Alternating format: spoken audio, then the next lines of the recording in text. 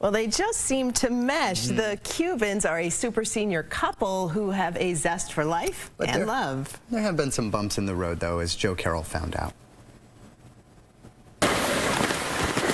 On an unusually warm winter day, Sally and John Kubin enjoy a stroll on their 250 acres of land in Benson. Look at what those moles have done.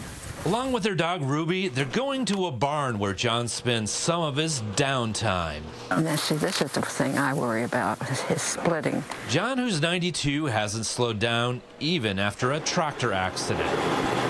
Probably not too bright at times. More on that in a bit, but first some history. But growing up on the farm, it was just, uh, I guess, everything. I loved it. John was born in the same house the couple lives in now, an only child on a small dairy farm. It was a good life. John was a good student who went to the University of Vermont. What's this? While still in school, he got called up from the reserves in 1943 and went off to war.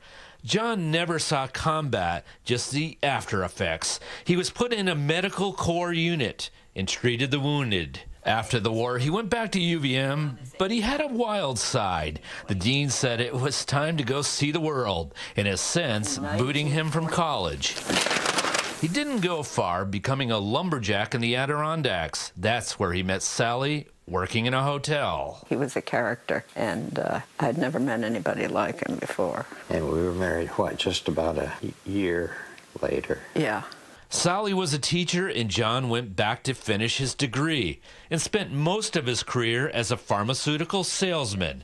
They raised three kids and have been married for 66 years. But we just um, seem to be compatible. Compatible. and there's, you know, and I think there's nobody else that I, I can imagine being married to. And it's just, I guess you call it love. The tractor was a test. Six years ago, it nearly killed John and changed Sally's attitude towards their marriage. That's my nemesis. If you can imagine that big tire running over him. He was standing on the ground and turned on the ignition, but the tractor was in gear. And all of a sudden, he was on the ground. And, oh.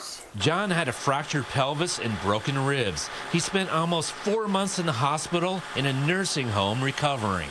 I, all of a sudden, became much more independent. She found out she could get along without me. And assertive.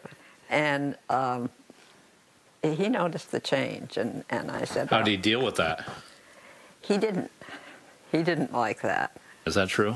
To her new independence? I guess I did. Sally, who's in her 80s, found a strength she never knew she had. John has accepted Sally's more assertive side.